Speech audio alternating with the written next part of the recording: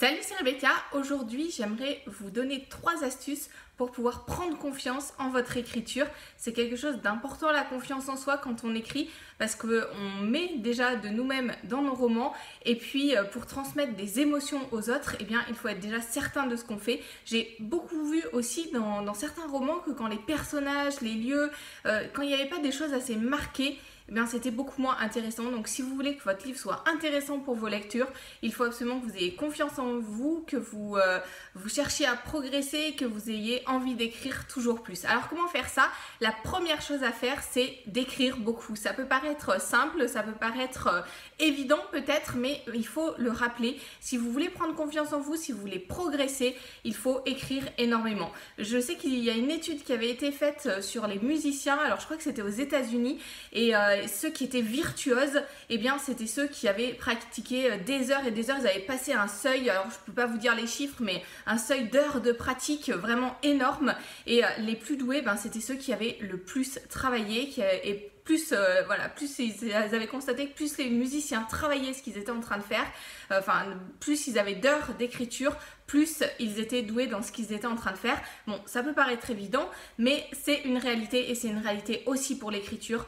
Plus vous allez écrire, plus vous allez prendre confiance en vous, plus vous allez découvrir votre propre style, euh, plus vous saurez où vous aurez envie d'aller, plus il y aura des choses qui deviendront instinctives, moins vous serez devant la page blanche. Donc allez-y si vous voulez prendre confiance en vous, confiance dans votre écriture, et eh bien pratiquez régulièrement, régulièrement, régulièrement. Essayez d'écrire un petit peu tous les jours. J'ai vraiment testé ça et je trouve que c'est euh, ce qui est le, le, plus évident euh, si on veut avancer rapidement, si on veut vraiment réaliser, euh, écrire un, un, livre et même plusieurs. Pourquoi s'arrêter simplement à un, mais plusieurs romans, écrivez tous les jours. C'est mon premier conseil.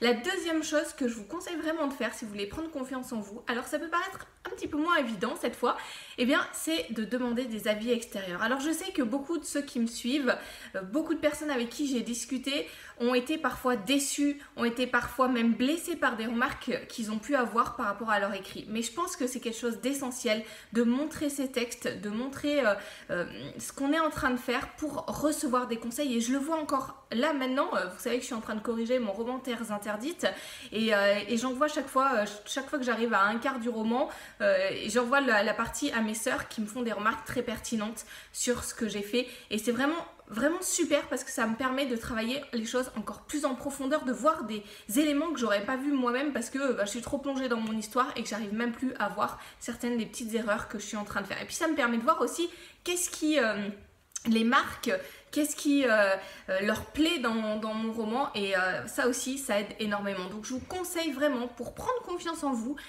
de trouver des personnes, alors pas n'importe qui, bien entendu, si vous êtes certain de vous prendre une raclée, ben, n'allez pas montrer vos textes. Trouvez quelqu'un en qui vous ayez confiance. Ne laissez pas simplement face à votre texte, donnez-lui des questions. Moi, c'est ce que je fais avec mes sœurs, je leur euh, pose des questions précises pour savoir ce qu'elles pensent ben, des personnages, des lieux, de l'enchaînement de l'histoire. Et puis bon, elles me font des remarques en plus. Mais en tout cas, je leur donne une base de questions pour leur expliquer ce que je veux qu'elles me disent pour avoir des remarques pertinentes. Et quand on fait ça, eh bien, pourquoi on prend confiance en soi? Ben, D'abord parce qu'on a des remarques positives, hein. on a toujours des, remarques positives. Et d'ailleurs, euh, vraiment, je vous encourage à demander ça. C'était une règle que j'avais, euh, que je m'étais fixée moi pour mes commentaires euh, sur le forum, par exemple, de faire d'abord, de toujours commencer par une remarque positive et puis ensuite de donner un ou deux points à améliorer, pas, pas plus, parce que sinon, après, on est submergé par, par ce qu'il y a à améliorer. Il y a peut-être plus de choses dans le texte à améliorer, mais en tout cas, il faut avancer petit pas par petit pas. Donc, demandez à vos lecteurs de vous donner d'abord les points positifs et puis de vous donner une ou deux choses à améliorer, peut-être pas tout à la fois. Et plus vous ferez ça, ben plus vous aurez confiance en vous, plus vous aurez l'habitude d'avoir des lecteurs et plus ce sera, euh, ce sera facile et puis ça vous apportera, ça vous enrichira vraiment beaucoup. Donc euh, faites-le. Troisième chose pour euh, prendre confiance en vous, dans votre écriture, je vous invite vraiment à vous lancer des défis. À, des défis qui... Alors là encore, pas n'importe quel défi parce que euh, peut-être que euh, si vous n'arrivez euh, pas à écrire, enfin si vous n'arrivez à écrire que deux lignes chaque jour, vous n'allez pas vous lancer le défi d'écrire 2000 mots directement chaque jour. Mais lancez-vous des défis. Alors ça peut être des jeux d'écriture, ça peut être des choses un petit peu plus longues, des concours d'écriture, ça peut être simplement un nombre de mots que vous écrivez chaque jour, mais lancez-vous des défis. Vous allez voir, ça va vous aider là aussi parce que vous verrez que vous réussissez ces défis Et le fait de réussir, eh bien, ça va vous donner envie d'aller plus loin. Donc, regardez quel type de défi vous pouvez faire pour qu'il soit, alors pour qu'il y ait à la fois euh, ces deux choses, à la fois que vous sachiez que vous pouvez potentiellement réussir et à la fois qu'il y ait quand même euh, euh, du challenge parce que sinon c'est pas un défi forcément. Et par rapport au défi, moi, il y a, un des défis que j'avais énormément aimé relever, c'est l'année dernière, et vous le savez, si vous, me suivez un petit peu sur le blog, si vous avez l'habitude de me suivre, l'année dernière, j'avais relevé le, défi du NaNoWriMo, donc il s'agit d'écrire un roman en un mois, en 30 jours, 50 000 mots à peu près. Je crois que j'en avais écrit à peu près une soixantaine, 60 euh, 000 mots. Et, euh, en fait, ça, ça obligeait à écrire vraiment tous les jours, à écrire, euh, je crois que j'écrivais à peu près 2000 ou 2500 mots chaque jour. Et j'ai énormément aimé ce défi. Euh, alors, il y a des points que j'ai trouvé un petit peu plus, euh, plus négatifs. Euh, le fait de ne pas préparer mon roman avant. si je, voilà, j'ai décidé que le jour où je réécrirai un roman en un mois, et je suis certaine que je vais le faire ben, pour mon prochain projet d'écriture, à ce moment-là, je préparerai en amont parce que je trouve que c'est plus sympa de faire comme ça. Mais en tout cas, c'était très très intéressant ce défi-là parce que ça pousse à écrire, ça, montre aussi que c'est possible d'arriver au bout d'un roman très très rapidement et ça c'est une des clés pour réussir.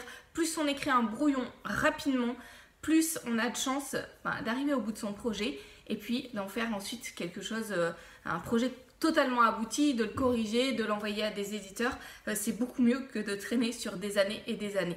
Et c'est pour ça, parce que ça fait à peu près un an, du coup, euh, jour pour jour, que j'ai commencé ce défi, que j'ai décidé cette semaine de sortir une formation sur ce thème-là écrire un roman en 30 jours. Alors ça sera le plan pour écrire un roman en 30 jours. On va parler à la fois de la préparation euh, matérielle, psychologique et tout ça. On va parler aussi de comment euh, planifier quelques idées pour euh, bah, avoir confiance en soi, pour ne pas partir à, l'aveugle, même si c'est possible de partir totalement à l'aveugle sur ce genre de projet. Mais pour si vous n'avez jamais écrit un roman, c'est quand même mieux d'y réfléchir un petit peu avant de vous lancer dans ce projet-là et puis ça vous aurez moins de travail de correction ensuite.